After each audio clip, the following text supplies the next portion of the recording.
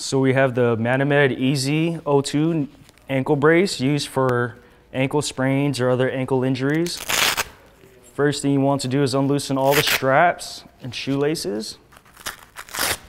So you're able to apply the brace onto the patient's foot. Nice and loose.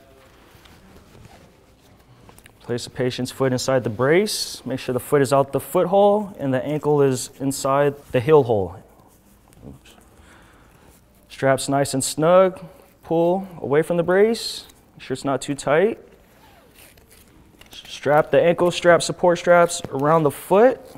Do with the other strap also around the foot, bottom, the side of the ankle. Ankle support strap around the ankle. Get that nice and snug.